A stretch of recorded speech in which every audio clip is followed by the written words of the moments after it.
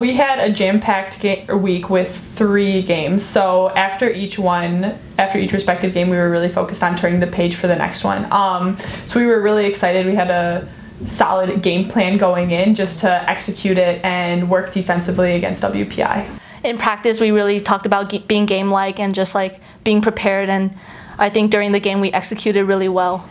Um, you know, it's the same approach for every game. Um, it's a it's a little more challenging with a one day prep in between, um, as our team really likes to you know be as prepared as we can possibly be. So it was really compressed, but um, I was really proud of our team for um, quickly understanding the game plan, getting the reps we need to get in and to practice yesterday, being efficient, um, and then really trying to transfer that into the game today. But you know, with a one day prep, a lot of it comes into in-game adjustments and the players really having to make plays as they adjust to what, what is happening. And I think with a really good team like WPI that's really, really well coached and um, they execute so well and they play such good defense, um, it really takes a team effort and it takes players making plays too.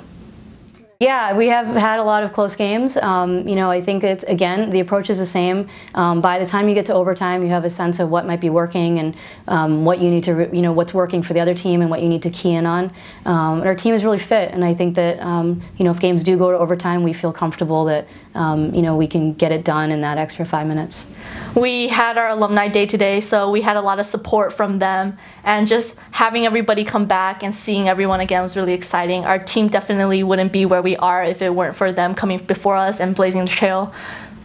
Yeah, and also concretely, like the energy from the stands was palpable. So it was really exciting to play in front of them and also to like play with our teammates in this game. It was awesome. I mean, I, we just love Alumni Day is like our favorite day of the year. The whole team, the coaching staff, we just love having them here. Um, their energy, uh, they you know they had a great game themselves this morning, um, and then they just bring so much energy to the stands and um, the pride that everybody takes in the jersey and in MIT um, is just amazing. So um, it was it was awesome having them back. Um, we wish they could be here for. I wish every day was Alumni Day, but it was really exciting to have them here, and and it's been a great day so far.